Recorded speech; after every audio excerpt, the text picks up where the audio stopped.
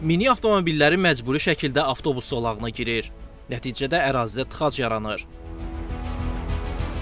Avtobuslar da buna görə onlar üçün ayrılan xüsusi zolaqla hərəkət edə bilmir.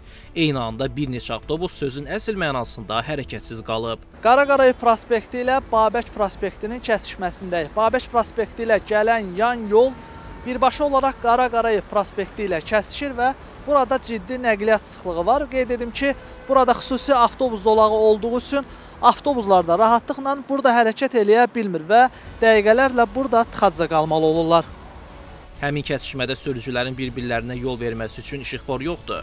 Nəticədə xaos daha da artır. Avtobus sürücüləri istər pik saatlarda, istərsə də adi vaxtlarda burada eyni mənzərə ilə üzləşdiklərini, gecikdiklərini deyirlər. Balaca maşınlar girir bizim yollarımıza imkan vermir də. Görmürsən sağdan soldan hamı gəlir də.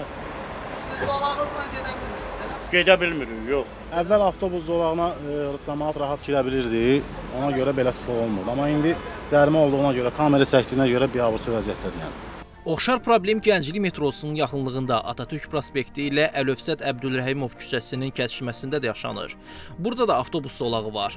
Ancaq kəsişmədə işıqfor olmadığı üçün zolağın operativliyə vasitə olmaq xüsusiyyəti itir. Atatürk prospekti ilə Əlövsət Əbdürrəhimov küçəsinin kəsişməsində konfliktli bir zona var. Belə ki, Əlövsət Əbdürrəhimov küçəsindən gələn sürücülər Atatürk prospektinə çıxmaq istəyərkən məcburi qaydada avtobus zolağını kəsirlər. Bu isə ictimai nəqliyyatın hərəkətini gecikdirir. İşıqfor olsa olmağı yaxşı olardı, məsləhət idi. Burada bax zolağa keçir, avtobus zolağına keçirir, sonra da ki ora yəni çətinlik var da. Yol dardır. Bura svetofor mütləq lazımdır. Xacə, baxın, Təklifiniz nədir? işıqfor qoysa yaxşı olar. Hər iki əraziyə işıqforun qoyulub qoyulmayacağına gəldikdə isə Nəqliyyatın İntellektual İdarəetmə Mərkəzindən Xəzər xəbərə bildirildi ki, qeyd edilən ərazilərə mərkəzin əməkdaşları tərəfindən baxış keçiriləcək və təhlillər aparılacaq. İslam Əşrəfov, Səbuhi Mustafayev, Qulam Mirzə Səfərli, Xəzər xəbər.